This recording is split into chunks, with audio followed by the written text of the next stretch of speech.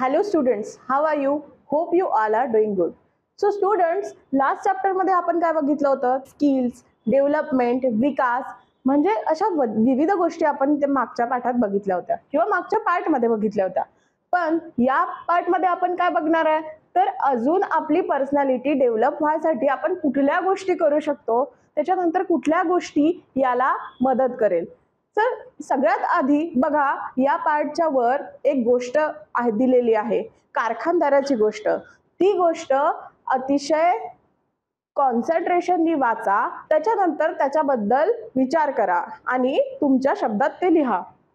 तर बघा आता आपण बघू की हे पर्सनॅलिटी डेव्हलपमेंट बेटर व्हायसाठी कोणत्या कोणत्या गोष्टी ह्या आपल्याला कामी येऊ शकतात. तर बघा पर्सनॅलिटी डेव्हलपमेंट आपण डेव्हलपमेंट म्हणजे काय हे आधीच बघितलं होतं विकास.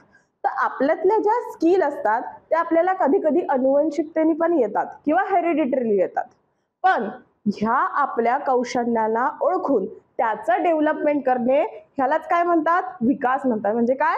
जसं जसं आपण आपल्या स्किल ओळखू त्याला अजून डेव्हलप करू तेव्हा आपली पर्सनॅलिटी काय होते? डेव्हलप होते. सो ह्या गोष्टी आपल्याला बेटर पर्सनॅलिटीसाठी मदत करू शकतात. त्याच्यानंतर हीच गोष्ट नाही तर एक गुड डाएट आता बघा या सगळ्या गोष्टी करतानाही अन्न हे खूप महत्वाचं हे आहे. पण एक गुड डाएट घेणं म्हणजे काय? बघा गुड डाएट म्हणजे काय? फास्ट फूड किंवा इतर बाकीच्या गोष्टी ज्याच्यामुळे आपल्या बॉडीवर परिणाम येऊ शकतो किंवा आपल्याला डिसीज येऊ शकतात अशा गोष्टी सोडून साध्या साध्या गोष्टी जसे म्हणजे बघा आपण फास्ट फूड जेव्हा खातो आता फास्ट फूड खात असताना किती सगळ्या गोष्टीचा आपल्या बॉडीवर परिणाम होतो? आता बघा या मागच्या काही पाठात आपण ते बघितलंय की किती प्रकारचे डिसीज आपल्याला होऊ शकतात. पण त्याऐवजी आपण जर गुड डाएट घेतलं म्हणजेच काय?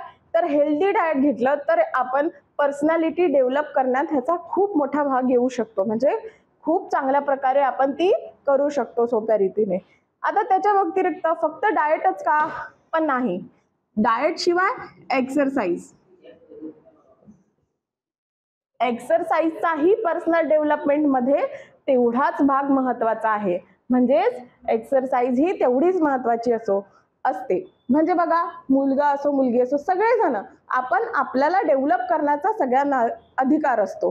सो ती डेव्हलप करण्यासाठी आपण ह्या गोष्टीचा जर आपल्या दैनंदिन म्हणजे पर्सनल डेव्हलपमेंटमध्ये ह्या गोष्टीचा जर समावेश केला तर त्या गोष्टी अतिशय चांगल्या रीती रीतीने होऊ शकतात.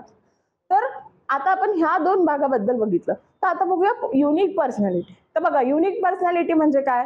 आता तुमच्या क्लासमध्ये वेगवेगळे स्टुडंट असेल प्रत्येकाच्या आवडीनिवडी वेगळ्या असेल तर प्रत्येकाच्या आवडीनिवडी ह्या सारख्या नसतात.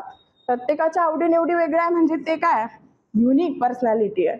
प्रत्येकाची एक युनिक पर्सनॅलिटी असते. आता बघा तुम्ही मी हे सगळेजण वेगळे असतात. हे सगळ्या जणांच्या आवडीनिवडी जेव्हा वेगळ्या असतात तेव्हा त्याच्यातला युनिकनेस बाहेर येतो म्हणजेच काय? ते त्यांचा वेगळेपणा आहे. सो युनिक डेव्हलप युनिक पर्सनॅलिटीमध्ये काय येऊ शकतं?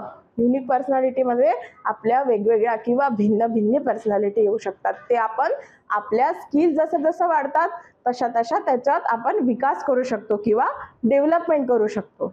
सो या पूर्ण चॅप्टरमध्ये आपण कोणते कोणते भाग बघितले? तर ग्रोथ झालं त्याच्यानंतर डेव्हलपमेंट झालं त्याच्यानंतर स्किल्स झाल्या. स्किल्स स्किल्समधून डेव्हलप होणारी पर्सनॅलिटी डेव्हलपमेंट बघितली. त्याच्यानंतर अजून ती बेटर करण्यासाठी आपण काय काय करू शकतो? या सगळ्या भागाचा आपण ह्याच्यात समावेश केला.